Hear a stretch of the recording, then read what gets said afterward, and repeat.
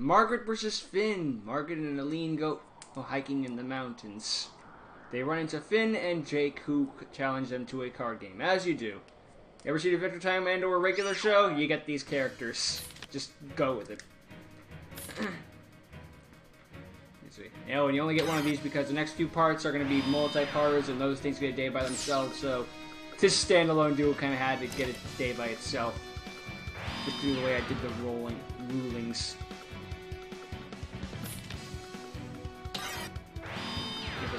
Was supposed to be such a flat with her feet were made, but he's too humane. Eh, it's just one of those weird cartoon things.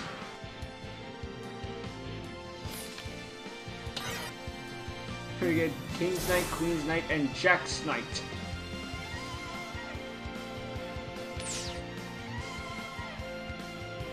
Yeah, we know what King and Queen make.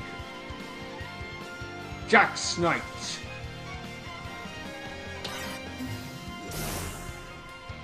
And then he summons Slifer to go all Yugi.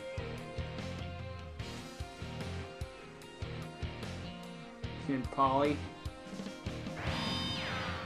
The Shield Crush. Oops. Sonic Chick is destroyed.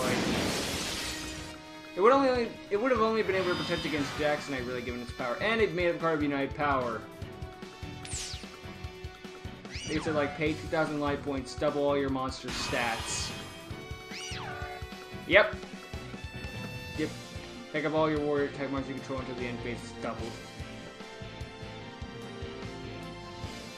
This is game if Margaret doesn't have anything, but she does have a set card.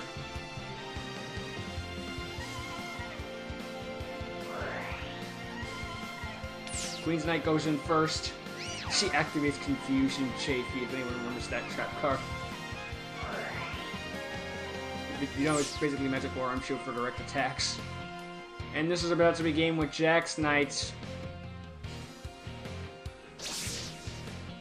Not so fast. Nutrient Z! Using this now? Okay. That means she gets 4,000 life points, and then she takes the damage. Which means her life points will still be 2,000 when this is over. So really, Finn gave her 200 life points. I wish New Z was made. Just department is like, it's not a bad card.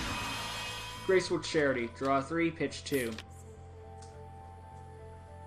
What's he setting up for? A set card. Hmm.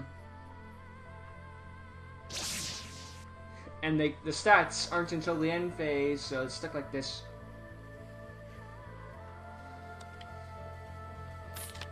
Heart of the cards, guide me. what? Exodia? Okay. It's like, suddenly Exodia. This deck just has this now. Okay. To be fair, we did see... We did see uh, Sonic Chick, which can be considered a stall card, so, you know, it's not completely out of nowhere, it's still like, whoa, okay, hi, Exodia. When'd you get here? Oh, there's two people up there. oh, for fuck's sake. Those are well drawn, though, I'll give you that much. That's surprising I didn't see coming. Wait. See you.